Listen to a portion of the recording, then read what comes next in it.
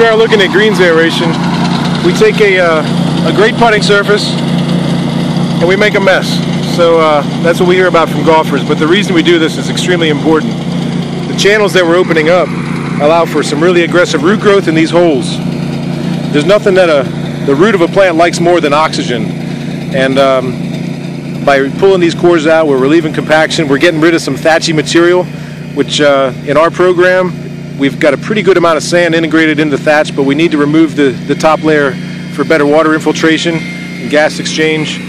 Um, the process that we're doing on this green and all our greens today actually is um, we will be, instead of removing all these cores completely, we have a lot of nutrition that's in the sandy soil matrix here um, from our, our fertilizer fertility practices as well as uh, from the breakdown of organic matter.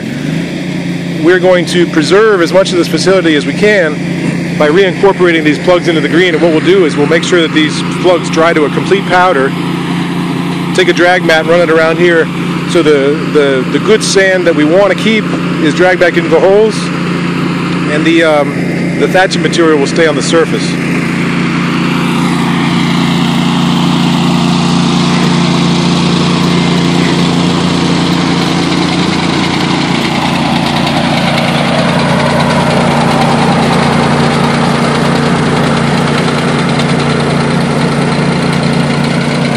Tell you, aeration is one of the superintendent's favorite times of year because of the benefits that it has for creating a very healthy turf grass system.